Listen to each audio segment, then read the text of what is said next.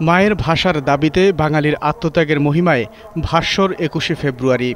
ভাষা শহীদদের আত্মত্যাগে একুশে ফেব্রুয়ারি আন্তর্জাতিক মাতৃভাষা দিবস।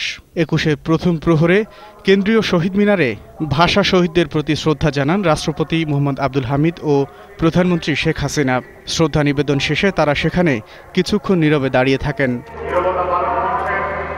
এরপর শ্রদ্ধা জানান জাতীয় সংসদের স্পিকার ডক্টর শিরিন শারমিন চৌধুরী। পরে মন্ত্রিপরিষদ সদস্য ও সিনিয়র নেতাদের নিয়ে দলের পক্ষে শহীদ বেদিতে পুষ্পস্তবক অর্পণ করেন আওয়ামী লীগ সভাপতি।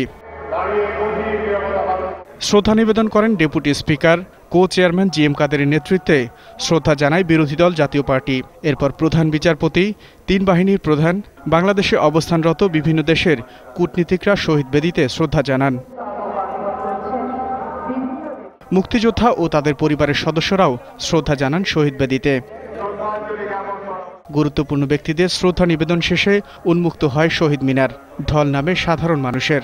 ভাষার জন্য যারা জীবন উৎসর্গ করেছেন, তাদের স্মরণে শহীদ বেদিতে শ্রদ্ধা নিবেদন করেছেন সর্বস্তরের মানুষ।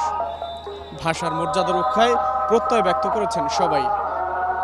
আকবর হোসেন সুমন, একুশে টেলিভিশন, কেন্দ্রীয় শহীদ মিনার, ঢাকা।